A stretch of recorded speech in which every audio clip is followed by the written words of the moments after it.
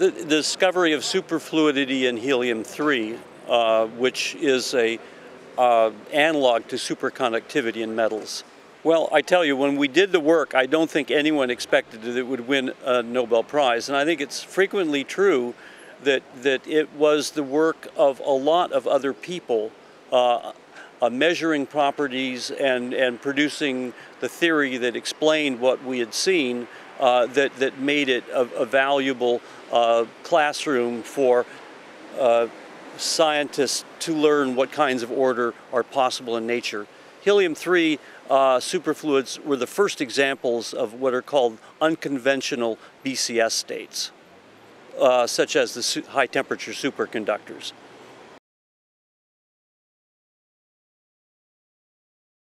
Well, as I said, uh, we didn't think that we were hoping we would get something called the London Prize for this, uh, but but ironically, that never happened.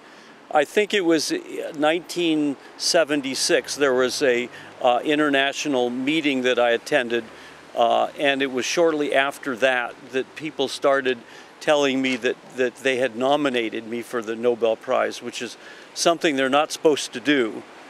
And over the years, uh, I would say on almost a yearly basis in uh, something, you know, uh, usually in, I think the, no, the, so to nominate for the Nobel Prize, you have to be invited to do so. And those invitations tend to go out in something like December or January, I can't remember. So then people would fill these things in and, and, and I think it expressly says you're not supposed to tell the person that you're nominating that, that you're doing so, but, but that's exactly what doesn't get done. And so on a yearly basis, I would realize there was some possibility that, that, that, that I would share the Nobel Prize. Uh, and I, I dare say that, that when the phone call finally came, uh, 24 years later, I, uh, from the time that, that the discovery was made, I, you know, was certainly not ready for it. In our case, uh, superfluidity in helium-3 uh, was in fact predicted, I think, as early as 1959, uh, two years after the publication of the BCS theory, which explained the origins of superconductivity in metals. Uh, and I think it was uh, Phil Anderson, who's a good friend of mine, was one of the first people that, that authored a paper suggesting that, that helium-3 might undergo a similar kind of a phase transition. But I think the original estimate was that TC would be uh, 80 thousandths of a degree, which may sound cold to some of your viewers, but in fact the actual transition temperature varies from 0.9 thousandths of a degree or uh, up to 2.49 thousandths of a degree. So, so in fact their temperatures were way off and people searched for the transition for uh, better part of a decade, uh, ultimately reaching two thousandths of a degree, not finding any superfluidity. And, and that was all, I think that ended in about 1965, just two years before I came, became a graduate student. So when I became a graduate student, the general uh, wisdom was that, that, that superfluidity in helium-3 was, was a pipe dream of the theorists. But in fact, it, it actually did occur.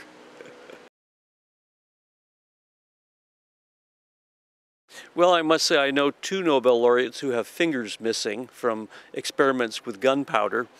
I, in fact, have been much, much carefuler than they have. Uh, so a lot of people did crazy things when they were young. I think my high and when I was in high school, I it, uh, junior and senior year, I built a hundred thousand volt X-ray machine, and I always assumed that there were no X-rays being generated unless I turned on the filament. But uh, that is not the case.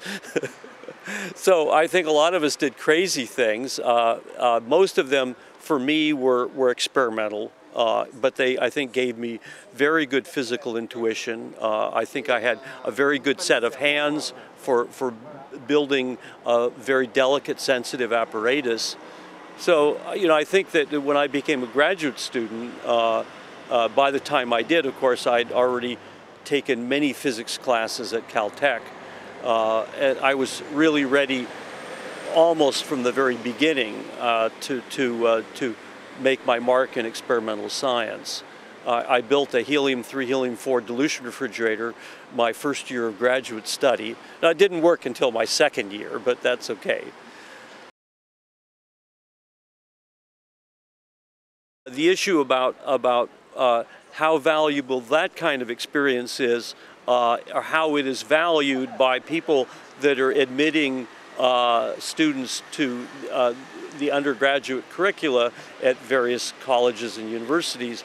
Uh, I think at Stanford we still value that kind of thing, but in fact, uh, at Stanford it, it is not the the physics department that admits the undergraduates that say that they're likely to major in physics. There are a bunch of professional people that do that, and, and I don't know how much they value that sort of thing. There are lots of, of, of activities that they, they know enough to value, such as the International Physics Olympiad and the Intel International Science and Engineering Fair and Inter, Intel Science Talent Search. For instance, the first year I was a judge for the Intel Science Talent Search, and the first year I, I did that, uh, two of the students, the students who were number one and number two, uh, uh, were both in physics, and they both now are graduate students in physics at Stanford University, and one of them, by the way, is here at this event now.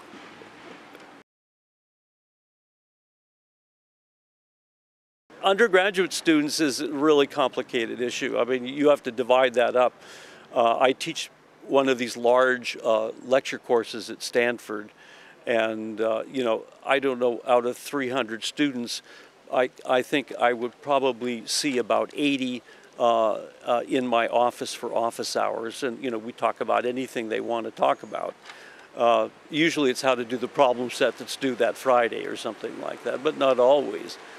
And you know, I think the idea, of, uh, of course, with uh, mentoring as opposed to teaching undergraduate students is, is try to get them excited about learning and about science, and and try to get them to realize that, that one of the most important things they have to do as an undergraduate is decide what to do next. I think you know the hottest thing right now is, uh, in some sense, of course, is, is nanoscience, and there's a lot of a lot of people doing it, a lot of interesting things coming out. It's always a question in my mind as to whether we're producing too many people who are very good at nanoscience. I think, in some sense, it is a bit an indication that that uh, uh, the the bulk condensed matter physics that that that I have known and loved over the years is is in fact uh, understood fairly well, and so one looks for other areas where, in fact, the understanding is less complete, and I think that's what we're seeing right now. Uh, so I, I, you know, there of course was a period when almost every new person uh, in, in, in that was getting a grant in uh, for condensed matter physics was studying high temperature superconductivity and and those days are over and and you know my guess is that that it doesn't matter uh, what it is that you studied as a graduate student uh, it the important thing is is learning how to study and how to understand uh, what nature is doing. And that's what it's all about